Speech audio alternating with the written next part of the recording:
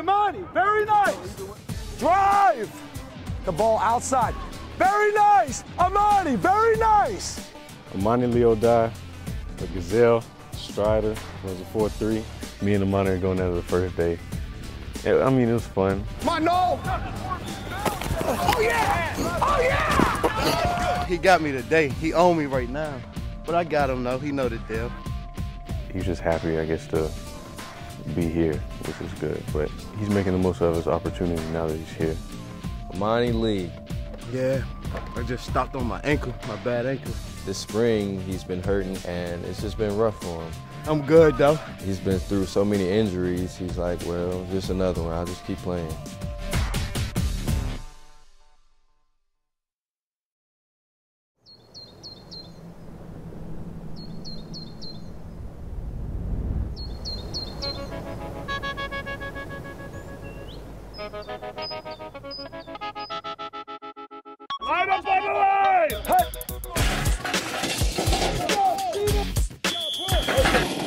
Pick it up, man. Ow! Gilligan 23. Go, let's go. This is not a walkthrough. Yes, sir. Let's go, baby. Terps on three. One, two, three. Right here, right here, right here. Come on, turn.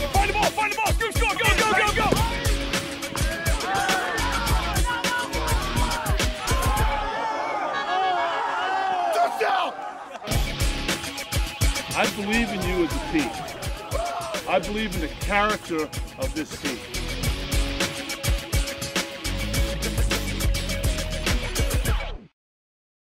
On me, on me, hello.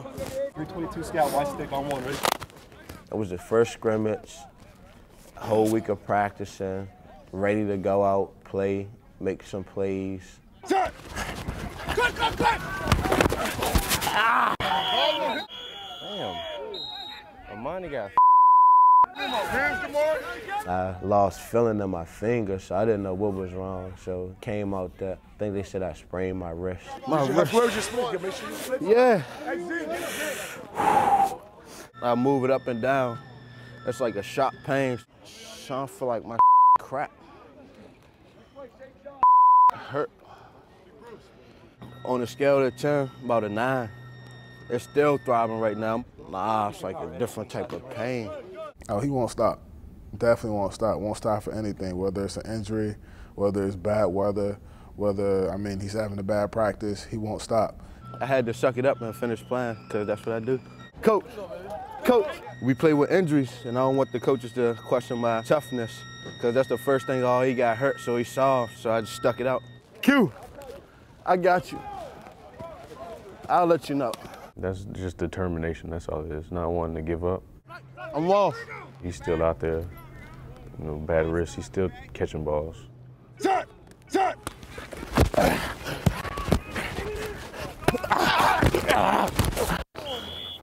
I took that pretty bad because I knew that's one thing I didn't need was to get injured. And then once that happened, it was just like, oh man, not this again. So when I got hurt, it was like another setback. Let's get some momentum off that. Come on. Let's go.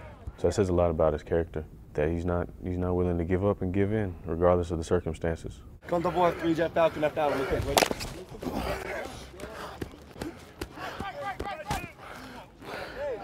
he's fighting through all his injuries. If he got to be on the field with two wrist brace and and both his ankles spatted, he'll do it. But he just loves the game and he'll he'll get on the field no matter what. Set. Yeah, I thought he had some tra- plays to make and he didn't make them. You know, he's got to continue to, uh, to get better in that light. He does a lot of good things, but he's got to finish and make the catch. And, you know, uh, I think he made it a couple times today, but he didn't make it every time. kind of make a note of that. I'll try to make, cover that in the team meeting. Okay, then uh, let's go to wide receiver. This should be the strength of our football team, and they're underproducing. I can talk to James if we want to make that move and uh, and move Monty. What, what's your thoughts, James? My, my thoughts are, you have Torrey Smith at X, you back him up with Imani Lee. Imani's had a bunch of chances, and I'm not, I'm not saying his cha- opportunities are over, but he's not playing well enough to say he's the starter. I love Imani Lee. Um, He's a great kid. He's a really smart kid. He's a real positive kid. He's always got a smile on his face. He's very appreciative of the opportunity he has here at University of Maryland. We want as many guys like Imani as we possibly can here. But he's been very inconsistent. And he started at the top of the depth chart. But if some guys are making plays and another guy isn't, you can't justify that without making some moves on the depth chart. And Imani, I don't think it's an effort thing. I just, I just don't think he catches the ball consistently enough to say he's going to be a starter for us. The day they moved me down, I was upset, but I kind of was e expecting it. I knew it wasn't going to come down on me, but it's just something you don't want to face. And he was kind of down. I know he was kind of down. I mean, he didn't really show up.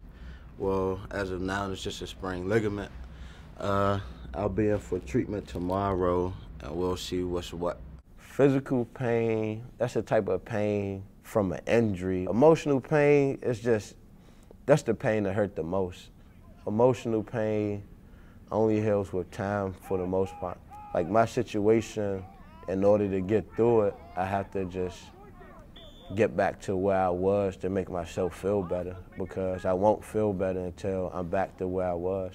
If he's on the same level as you, you should go high. Imani Lee is, uh, you know, an interesting kid. He's, uh, you know, he's a kid from uh, the Anacostia area of D.C. Most people, when they think of a black male with dreads from Southeast, that he's a criminal.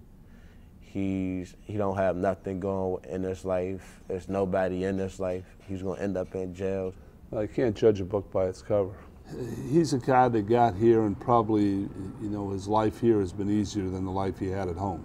You should come back to my neighborhood one day to because to see how I was raised and the things I didn't have to be the person that I am today. We're going to my old neighborhood where I grew up at.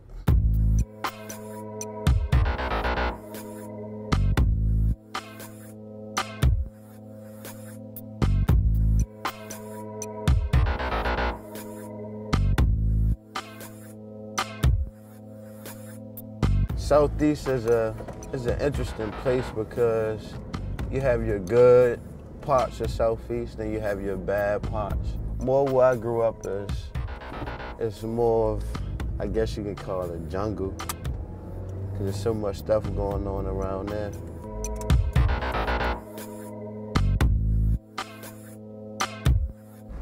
This the apartment building where I grew up at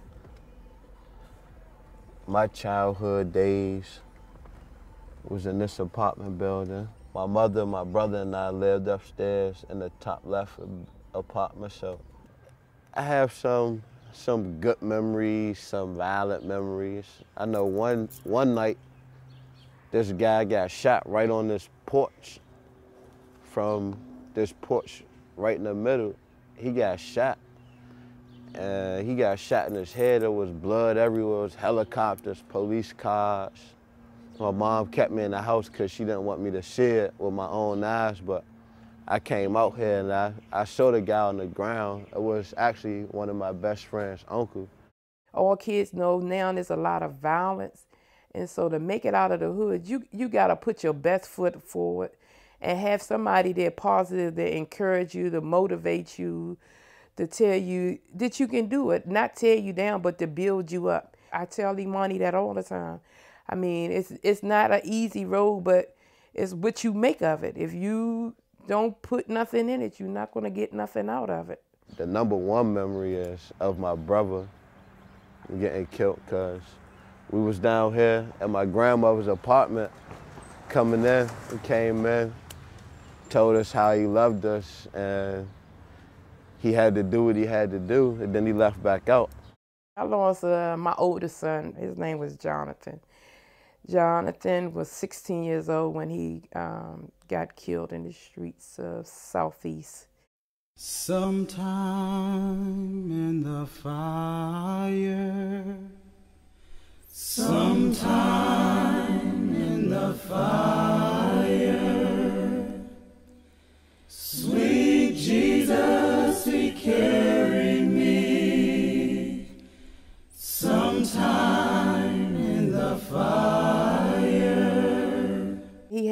problems where he was selling drugs. He came in the house and he said somebody was trying to shoot him. And then he left back out. When I went back out to find him, he was dead. And it was just like not even a block from where we lived at around the corner. So I was able to see him laying on the ground, and at that time I just lost it as a mom. When I hear that mournful sound,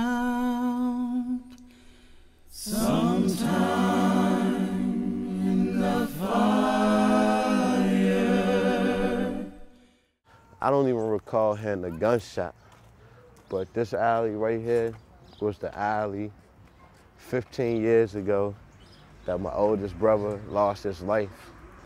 I don't even think I've ever walked through that alley after that incident. I've stayed on this side. I used to frequent over there, but I think I never walked through that alley after that day. In the beginning, when I lost my son, I, I didn't want to be a mother. I didn't think at that time I had what it took to be a mother. I just, I, I, I just called his father and told him I couldn't be a mother no more, because I, I felt within my heart that I didn't have it. I, I couldn't give what I didn't have, and I just, I, I just was trying to find myself, find my own way.